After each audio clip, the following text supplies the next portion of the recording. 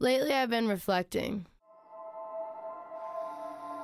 Reflecting on where I used to be in comparison to where I'm going.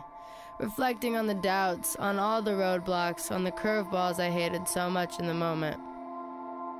Reflecting on despising the attention to finally being able to accept every ounce of love I have finally learned to give back.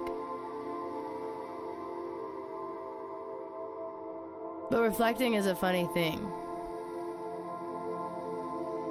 Because someday we will be reflecting on right now. Someday I will be reflecting on sitting in empty parking lots writing these words in my phone notes. Someday I will reflect on the excitement I have right now selling out 300 capacity venues. Someday I will reflect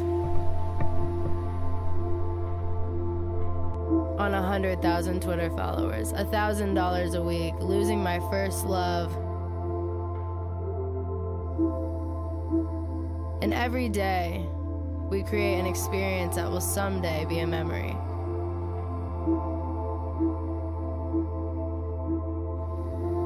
And someday, this is what we will have known as our entire lives.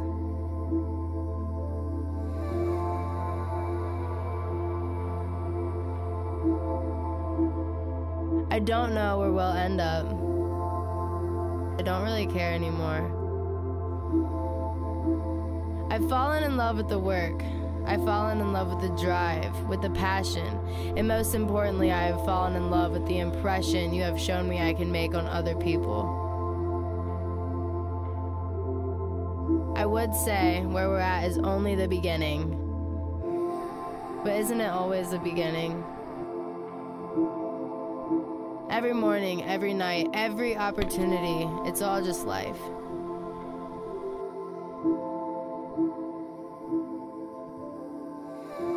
So here's to change, here's to reflection, and here's to being in the center of expression.